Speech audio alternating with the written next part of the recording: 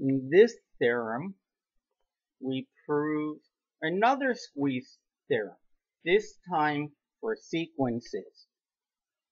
If you have three sequences, AN, BN, and CN, and they're all real numbers, and it turns out that you have this property, that is BN is jammed between AN and CN.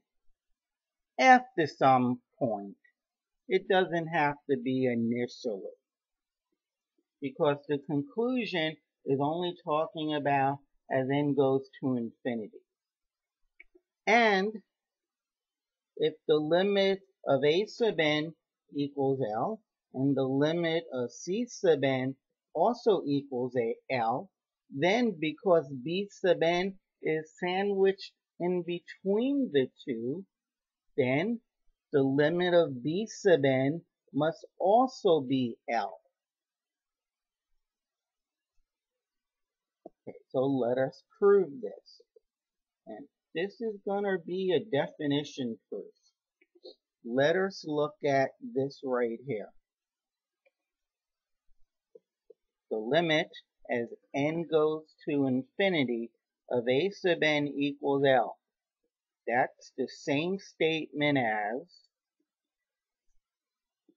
that is if and only if,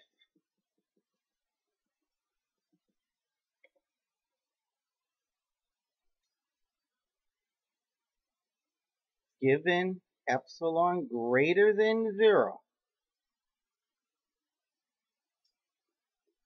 there exists an n1 such that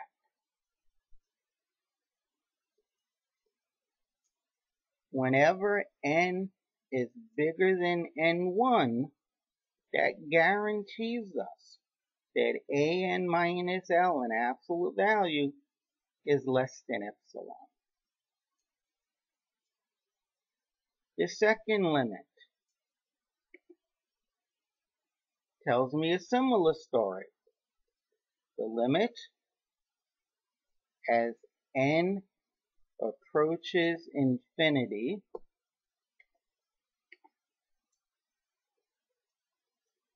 the limit as n approaches infinity of Cn equals L, why that's the same statement as given any epsilon greater than zero, that there exists an n sub 2 such that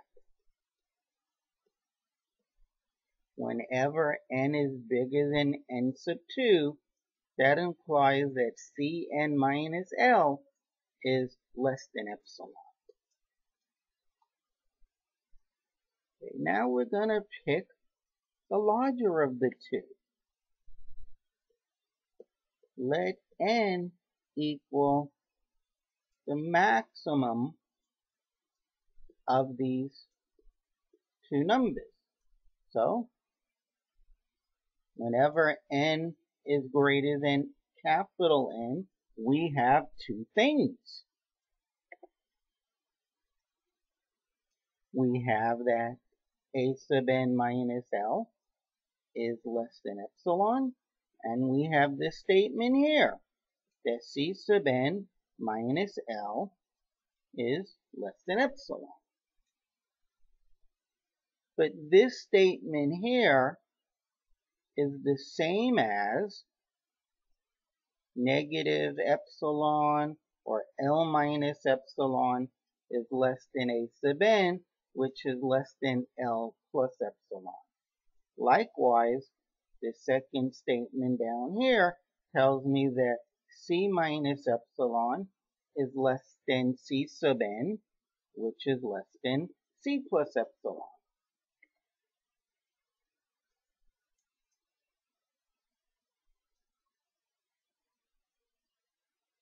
And then everything comes together.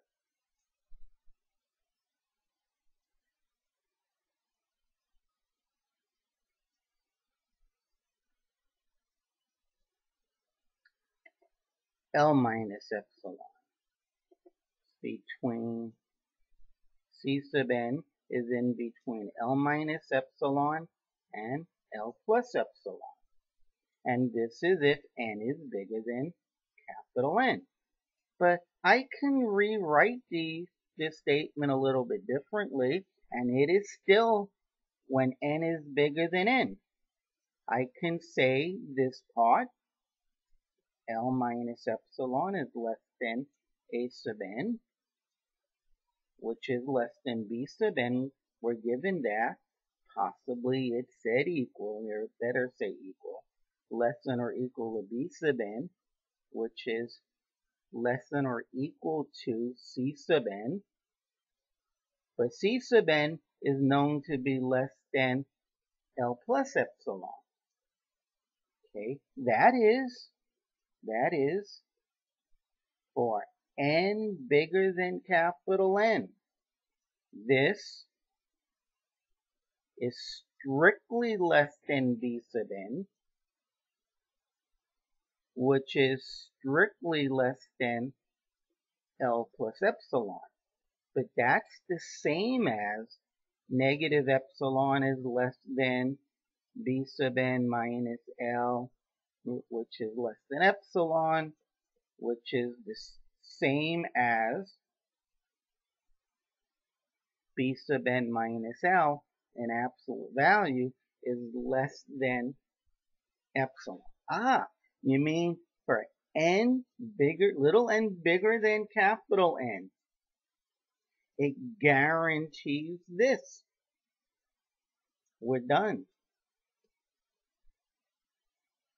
Therefore, the limit is correct. Therefore, the limit as n goes to infinity of b sub n equals L as well. It equals L.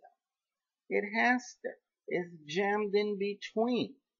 What's going on here is here's L, here's L plus epsilon, here is L take away epsilon,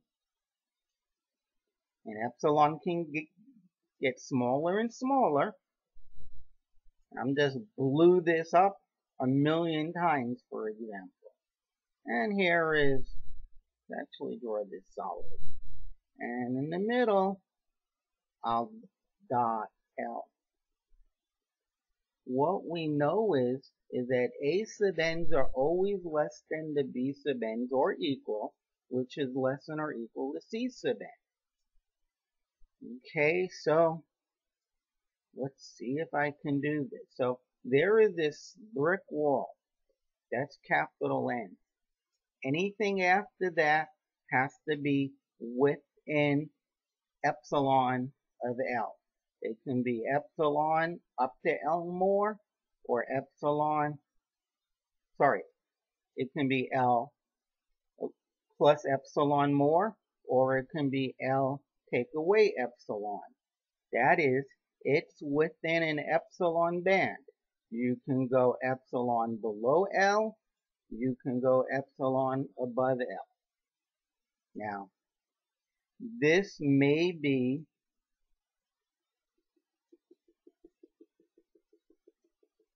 is A sub n. That's A sub n. Now B sub n has to be bigger than or equal. So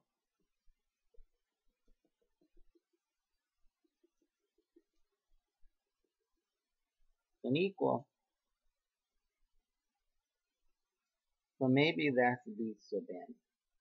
And C sub n has to be larger than all three. In fact, only after this line do they have to be larger.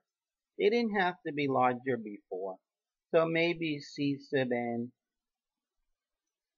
uh, maybe C sub n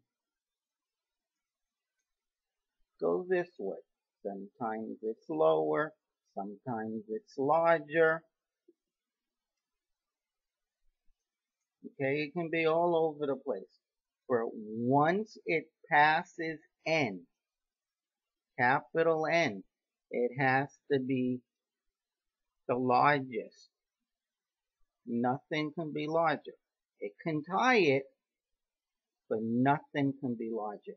And what happens is, as we go out further and further, what we have is that A sub n is getting really, really close to L.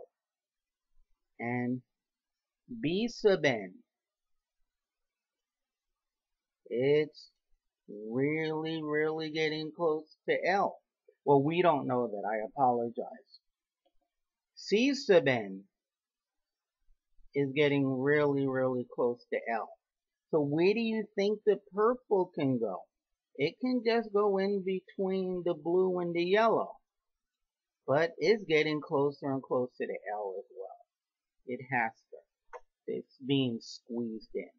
That completes this proof with the little diagram. Hope you liked this video. If you did, leave a comment. If you didn't, yeah, leave a comment. And if there's a proof that you like to see, leave it in the comment and I'll try to prove that theorem. Most of all, watch and learn. Mm-hmm.